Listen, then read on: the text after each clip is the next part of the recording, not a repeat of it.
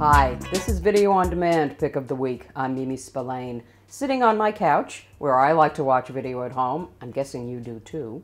This week I've got a great one for you 20 Feet from Stardom about the background singers who made the songs that we've come to love over the decades the great songs that they were. It's a perfect movie to be talking about right now, in the middle of Black History Month and this close to the Oscars. It is Oscar nominated as a documentary, and it focuses mostly on the black singers who gave us the sounds that backed the Rolling Stones, David Bowie, even Buck Owens.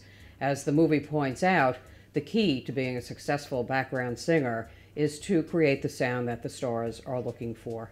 Think about what the Stones' Give Me Shelter would be without Merry Clayton singing about rape and murder, or David Bowie's Young Americans without the background singers singing all night, or George Harrison's Wah Wah without the wah wah.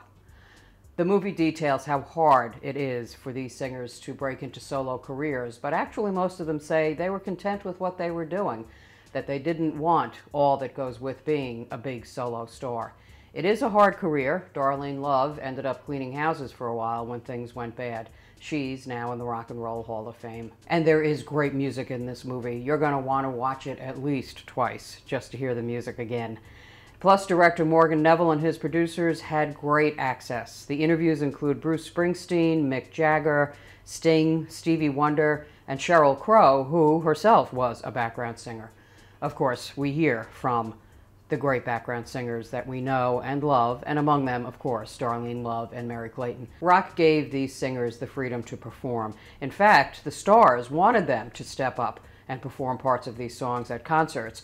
Some of the footage of these people belting out bits of music on stage was something to behold. Work has been hard for them to find since the 90s, though.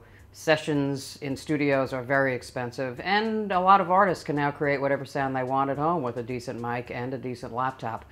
The movie makes you think could this background sound be on the way out? God, I hope not. If you've watched my reviews before, you know one of my favorite techniques is no narration, and this movie accomplishes that with the great singers and the great music. You don't need another voice in this movie. So, on my scale of four remotes, I'm giving it one, two, three, and four remotes. It is absolutely worth your time. Twice, at least.